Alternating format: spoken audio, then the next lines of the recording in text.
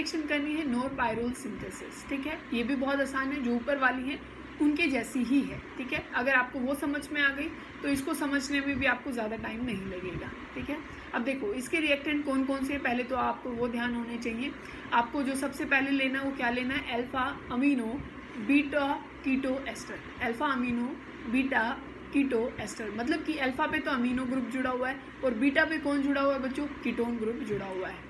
अब देखो यहाँ पे क्या है कि अल्फ़ा अल्फ़ा कैसे है ये? यहाँ पे एस्टर है ना बच्चों? तो यहाँ ये कौन सा कार्बन है? अल्फ़ा अल्फ़ा पे ही कौन जुड़ा हुआ है? एन है ना? तो ये अल्फ़ा अमीनो हो गया। तो ये अल्फ़ा है तो ये बीटा है। बीटा पोजीशन पे कौन है? कीटोन है। तो ये क्या हो गया? Alpha amino beta keto ester आपको चाहिए नोर पायरोल सिंथेसिस के लिए। और क्या चाहिए आपको? बीटा कीटो एस्टर ये कौन सी पोजीशन है? अल्फ़ा एस्टर के बाद वाली पोजीशन ही अल्फ़ा कहलाती है, उसके बाद है बीटा तो ये क्या बन गया बीटा कीटो एस्टर अब देखो कि आप इनकी कंडेंसेशन कैसे करते हैं और आप इसको बनाएँगे कैसे?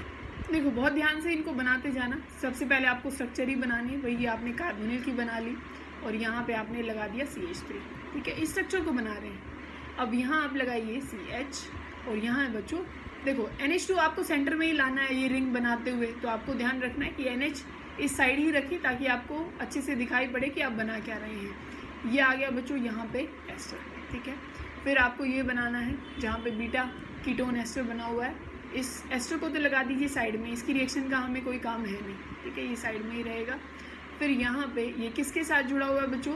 ये लगा दीजिए आप यहाँ पे सी एच टू ठीक है?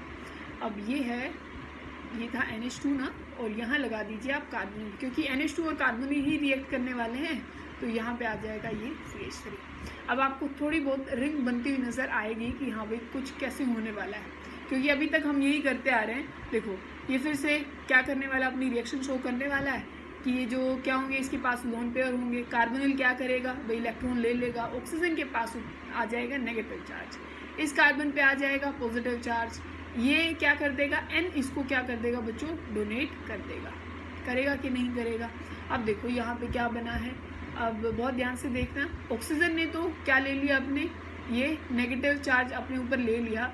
और अब यहाँ पे क्या स्ट्रक्चर बन गई है? कि ओ के ऊपर आ गया नेगेटिव ठीक है?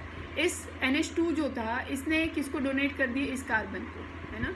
तो ये पॉजिटिव चार्ज खत्म हो जाएगा क्योंकि उसको तो इलेक्ट्रॉन मिल गए हैं। अब नाइट्रोजन ने इलेक्ट्रॉन दिए तो उसके ऊपर आ गया पॉजिटिव। तो इसको तो और कौन देने वाला है? नहीं, यहाँ पे एक हाइड्रोजन लगा हुआ है, वो इसको दे सकता है। दे सकता है ना? तो एक हाइड्रोजन यहाँ से बाहर चला जाएगा। किस फॉर्म में? एच पॉजिटिव फॉर्म में। पीछे वाली बात है सारी की सारी। तो जैसे ही एच पॉजिटिव निकलेगा, फिर से कौन पकड़ लेगा? ये ओ एच पकड़ लेगा।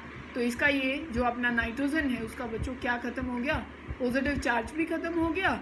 और यहाँ पे सिर्फ़ क्या बचा? एक एच बचा है। और इसका जो बॉन्ड बना है, वो किसके साथ बन गया? इस कार्बन के साथ। इतनी बात समझ में आ गई? इतने में तो कोई दिक्कत नहीं होगी। अब यहाँ देखो बच्चों, यहाँ क्या होगा? ये जो क्या है? एच टू है। अब ये किस नेचर का? एसिडिक नेचर का है। कैसे है? अब यहाँ है एस्टर ग्रुप और यहाँ था कार्बोनिल ग्रुप तो ये बहुत एसिडिक होगा। तो ये क्या करेगा? अब यहाँ से एच पॉजिटिव रिलीज़ करेगा। जैसे पहले वाले में भी किया था, क्या कर देगा? एच पॉजिटिव रिलीज़ यहाँ सिर्फ़ एक एच बच जाएगा। इस एक एच पॉजिटिव को ये ऑक्सीजन पकड़ेगा। पकड़ेगा कि नहीं पकड़ेगा? और जैसे यहाँ एक एच पॉजिटिव जाएगा, इस कार्बन पे आ जाएगा नेगेटिव और इस ऑक्सीजन पे क्या है बच्चों? यहाँ पे लोन पेयर है। लोन पेयर किसको पकड़ लेंगे? एच पॉजिटिव को। तो यहाँ आ जाएगा, एक एच और आ जाएगा। आ गया ना? यहाँ जुड़ जाएगा। अब ये क्या करेगा? ऑक्सीजन ने जैसे ही लोन पेयर डोनेट किए तो उसके ऊपर आया पॉजिटिव पॉजिटिव ऑक्सीजन के ऊपर स्टेबल नहीं है इलेक्ट्रॉन लेके फिर भाग जाएगा. यहाँ से एच बाहर जा चुका है। इसको साफ़ कर दीजिए एक बारी। क्या है भाई? एच टू यहाँ से क्या है? एक बाहर चला गया। अब हमारे पास ऑल ओवर कंडीशन क्या है उसको बहुत ध्यान से देखें। अब इस कंडीशन को भाई यहाँ से भी एक क्या है? एच बाहर जा चुका है और सी पे क्या आ गया? एक नेगेटिव चार्ज क्या आ गया बच्चों? सी पे आ गया है एक नेगेटिव चार्ज जो यहाँ नेगेटिव आया है, वो यहाँ क्या कर दिया जाएगा डोनेट कर दिया जाएगा और इस कार्बन पे आ जाएगा डबल बॉन्ड और सब कुछ ऐसे का ऐसे. अब देखो, यहाँ पे डबल बॉन्ड आ गया, अब देखो, अब क्या करना है? अब आपको ये पता है भाई, ये जो कार्बोनिल है, यहाँ से हटा करके इनका आपस में क्या बनना चाहिए? बॉन्ड बनना चाहिए, है ना? अब देखो, अब क्या होना बाकी रहता है? अब जैसे ही ये जो कार्बोनिल है, वो अपनी रिएक्शन शो करेगा, भाई ये ले लेगा इलेक्ट्रॉन यहाँ आ जाएगा बच्चों नेगेटिव चार्ज और इस कार्बन पे क्या आ जाएगा बच्चों?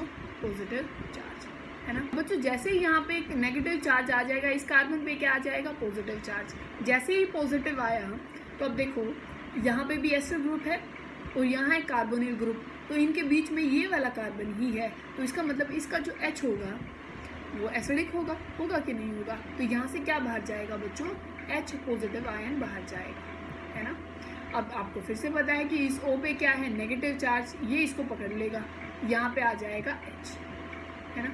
और यहाँ जो नेगेटिव आया था, क्योंकि जैसे ही कोई एच पॉजिटिव डोनेट करता है, उसके ऊपर तो नेगेटिव चार्ज रहेगा ही, क्योंकि जो एच है, उसके जो इलेक्ट्रॉन है, वो तो उसी कार्बन पे रह गए।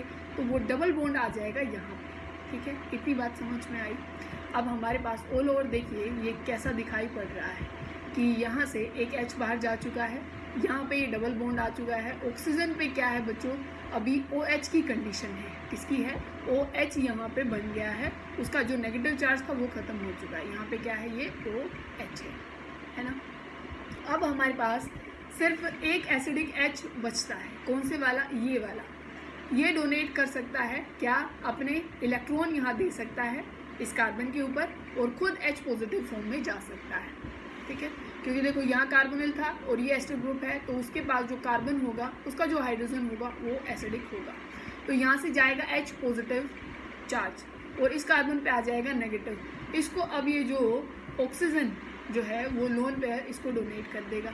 अब यहाँ से ऑल ओवर क्या चला जाएगा? एच टू ओ बाहर चला जाएगा। ठीक है? क्या बाहर चला जाएगा? एच टू ओ इसको भी बाहर निकाल दीजिए। ठीक है? ये जैसे ही यहाँ से बाहर जाएगा अब जो, क्या था बच्चों, इस कार्बन का हाइड्रोजन चला गया है और इस कार्बन पे कौन सा चार्ज है बच्चों? नेगेटिव चार्ज है। कौन सा चार्ज है? नेगेटिव और यहाँ पे क्या है?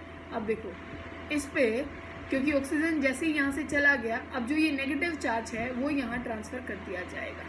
और इनके बीच में आपस में क्या बन जाएगा? ये बॉन्ड क्योंकि ये पॉजिटिव है, ये नेगेटिव तो यहाँ पे बन गया है ये बॉन्ड ठीक है? तो हमारे पास जो हम बनाना चाह रहे थे, क्या वो बना है कि नहीं बना? अब आप कहेंगे, अभी तो नहीं बना है। क्यों? क्योंकि यहाँ पे तो मैंने कार्बोक्सिलिक लगा रखा है और ये कौन सा ग्रुप है बच्चों? एस्टर ग्रुप तो आप एक मोल के साथ, एक मोल के वेच ले करके इसकी हाइड्रोलिसिस कर दीजिए। तो यहाँ पे एस्टर की जैसे ही हाइड्रोलिसिस करते हैं तो वो किसमें कन्वर्ट हो जाता है? कार्बोक्सिलिक